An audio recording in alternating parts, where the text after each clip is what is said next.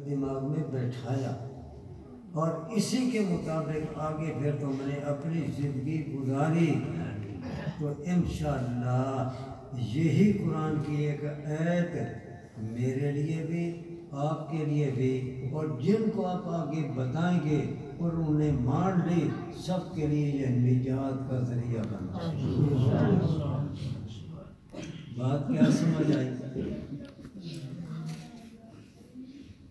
अभी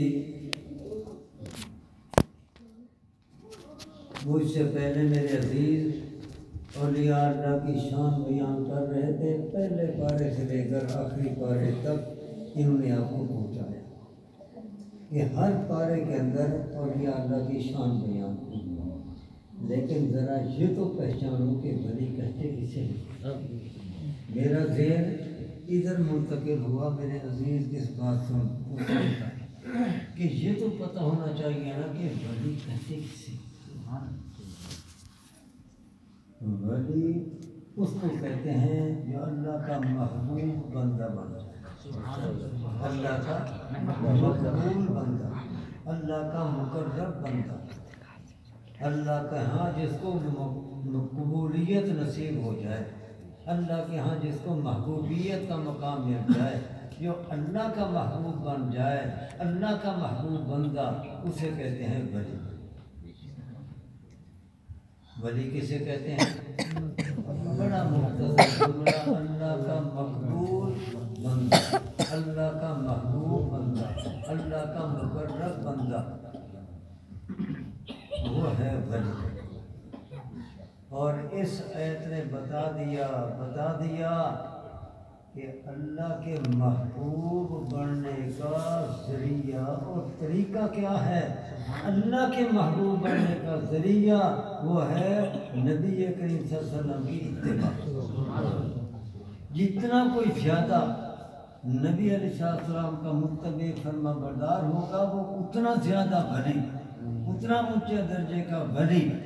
और जितना जितना कोई आदमी नबी सलाम की गुलामी से निकलता जाएगा आपकी इतबा फरमा बरदारी से दूर होता जाएगा समझो कि वो विनायक के मंजिल से दूर हो। तो वली कहते ही उसको है जो अल्लाह का महबूब अल्लाह का मुकर्रम अल्लाह का मकबूल। बंदा हो जिसको अल्लाह ताला ने अपनी दरगाह में शर्त कबूलियत बख्शा। अल्लाह का मुकर्रब बंदा वो वली और अल्लाह के मुकर्रब बनने का अल्लाह के महबूब बनने का अल्लाह का मकबूल बंदा बनने का तरीका। फत्तबिऊनी युहब्बुकुमुल्लाह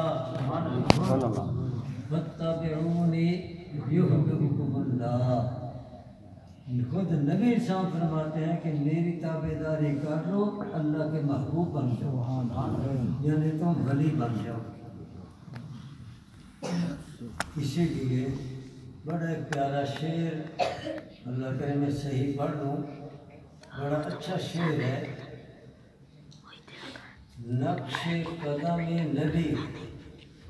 नक्श कदम नबी है सुन्नत के रास्ते। नक्श कदम नबी है सुन्नत के रास्ते।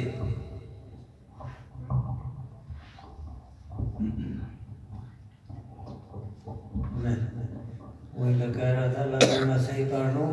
नक्श कदम नबी हैं जन्नत के रास्ते। नक्श कदम नबी हैं शायद इसका मतलब आप नहीं समझे। नबी पाक के कदमों के नक्श। नबी पाक के कदमों के नक्श। अब जो नबी पाक के नक्श कदम उन पर चल रहा है उन पर चल रहा है वो कहाँ जा रहा है? नक्श कदम नबी हैं जन्नत के रास्ते। अल्लाह से मिलाते हैं सुन्नत के अल्लाह से मिलाते हैं? के रास्ते और अल्लाह से मिलता कौन है। जो अल्लाह का वली होता है जो अल्लाह का वली होता है। उसी को कहते हैं खुदा रसीदा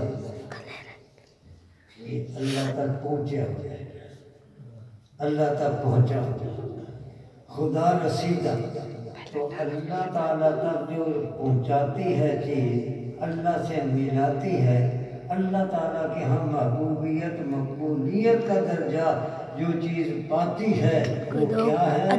इतबा सुन्नत। इतबा सुन्नत। अल्लाह से मिलाते हैं सुन्नत के रास्ते। वहाँ चलने वाला ऊपर नीचे इधर उधर हटकर चलने वाला बाकी सब कुछ हो सकता है। अल्लाह का वली नहीं हो सकता। अल्लाह का वली नहीं हो सकता। इसीलिए नबी सामने फरमाया मन अहब्बा सुन्नती फ़कद अहब्बा। वमन अहब्बनी काना माया फिल जन्नत।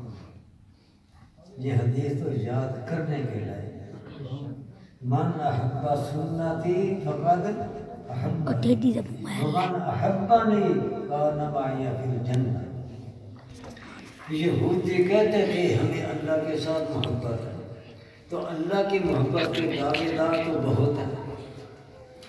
नबी शाम के साथ मोहब्बत के दावेदार तो बहुत हर एक कहता है कि मुझे अल्लाह के साथ ही मोहब्बत, अल्लाह के नबी के साथ ही मोहब्बत लेकिन अल्लाह ताला के नबी ने अपनी मोहब्बत की एक निशानी बताई। अपनी मोहब्बत की एक निशानी बताई, एक अलामत बताई। आप भी अपने घर को पहचानते हैं तो किसी निशानी से पहचानते हैं ना। आप अपने बेटे को पहचानते हैं तो शक्ल सूरत ये निशानी है, उससे पहचानते हैं।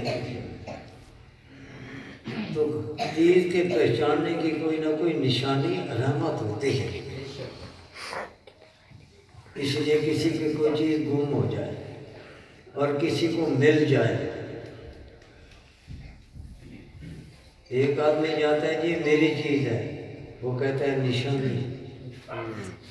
अब अगर निशानी सही बता दें उसी की है उसको मिल जाएगी। और अगर निशानी सही न बता सके उसकी होगी चीज़? नहीं। नहीं। दूसरा आ गया जी मेरी एक घड़ी गुम हो गई। हाँ भाई क्या निशानी है? तो निशानी ये किसी चीज़ की पहचान होती है। तो नबी सलाम ने भी अपनी मोहब्बत की एक निशानी एक शनाख्त एक अलामत बताई। याद रखोगे? याद रखोगे? कहने वाले तो कहते हैं ना कि हमें अल्लाह के साथ ही मोहब्बत अल्लाह के नबी के साथ ही मोहब्बत। कहने वाले तो बहुत कहते हैं मोहब्बत मोहब्बत। लेकिन नबी अल इस्लाम ने अपनी मोहब्बत की अलामत बताई। फरमाया, मन अहब्बा सुन्नती, फ़कद नबी रसाम की सुन्नत के साथ मोहब्बत। आपकी सुन्नत को अपनाना, आपकी सुन्नत पर अमल करना, आपकी सुन्नत की पैरवी करना, आपके नक्शे कदम पर चलना, आपकी सुनतों के साथ प्यार करना, ये अलामत है नबी पाक की मोहब्बत। अब अल्लाह की मोहब्बत को भी देखा जाए। नबी पाक सल्लम की मोहब्बत को भी देखा जाए तो मोहब्बतें तो हैं दो लेकिन इनका तकाजा एक। अल्लाह की मोहब्बत का भी वही तकाजा। कुरान ने बताया। नबी पाक सल्लम की मोहब्बत का भी वही तकाजा तो नबी पाक की हदीस ने बताया। अल्लाह की मोहब्बत को देखो, अल्लाह के नबी की मोहब्बत को देखो तो अल्लाह की मोहब्बत का भी वही तकाजा। नबी पाक की मोहब्बत का भी वही तकाजा। अल्लाह की मोहब्बत हो, उसका तकाजा भी यही है सत्ता फतबूनी नबी पाक की इत्तेबा क्यों? इसलिए कि नबी सल्लम अल्लाह के महबूब हैं। अल्लाह के फरिस्तादा हैं। अल्लाह के अहकाम पहुँचाने वाले हैं। इसलिए जिनको अल्लाह के साथ मोहब्बत है, वो अल्लाह के रसूल की इतबा करें।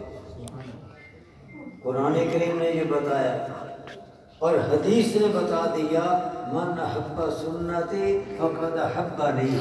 जिसको मेरे साथ मोहब्बत है वो मेरी सुन्नत के साथ मोहब्बत करे वो मेरी सुन्नत की पैरवी करे वो मेरी सुन्नत को अपनाए मेरे सुन्नत रास्ते पर चले मेरी सुन्नत वाले तरीक़ों पर चले ये है मोहब्बत नबी गुब रसूल का तकाजा और हम और अल्लाह को जब देखते हैं अल्लाह को जब देखते हैं उनकी जिंदगियाँ तो हमें यूँ नज़र आती हैं कि नबी इस्लाम की एक एक सुन्नत पर मन मिट जाते हैं। एक एक सुन्नत पर कुर्बान हो जाते हैं। विलायत इसी चीज़ का नाम। विलायत अगर मिल सकती है किसी को, वली कोई बन सकता है तो नबी सलाम का सच्चा गुलाम बनकर तो वली बन सकता है और जो आपकी गुलामी में पूरा नहीं आता वो वली नहीं बन सकता। अब मुझे आप बताएँ कि हो तो सैयद कहलाए तो पीर लेकिन उसने ये दाढ़ी नहीं रखी हुई उसने नबी पाक की इत्तेबा की? नहीं। नबी पाक की इत्तेबा की? नबी पाक सल्लम की दाढ़ी मुबारक थी या नहीं? हाँ जी। दाढ़ी थी। और ये दाढ़ी मुड़वाए या कटवाए इतनी इतनी रख ले।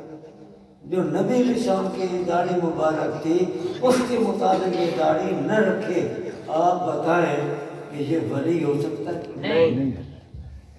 पीर हो सकता है? नहीं। मुर्शिद हो सकता है? नहीं। जो खुद भूला हुआ है मुर्शिद का मन होता है रास्ता दिखाने वाला। रास्ता किसका?